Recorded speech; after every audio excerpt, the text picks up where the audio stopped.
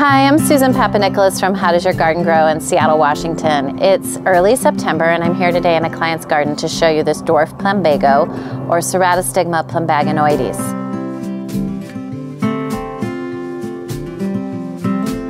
This plant is a fantastic ground cover for this time of year. When other things are winding down and looking tired, it's just starting to come into its own. It's putting on this flush of new growth and brand new bright blue flowers. It grows as a ground cover, spreading throughout the garden bed, staying pretty low. And then at the end of each stem, it gets this cluster of bright blue flowers. They're really beautiful and bloom for a long period of time from now in late August, early September, all the way through October and even into November.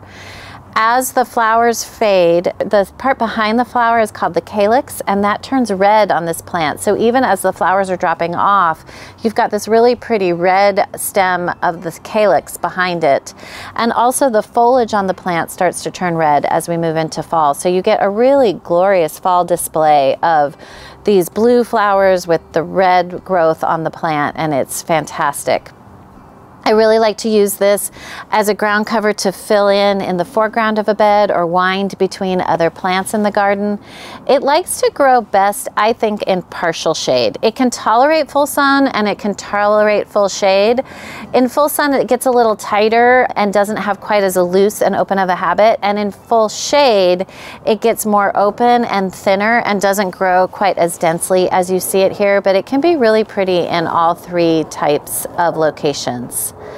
I really like to use this plant to just bring this lovely, fresh, new energy into the garden at this time of year when things are winding down.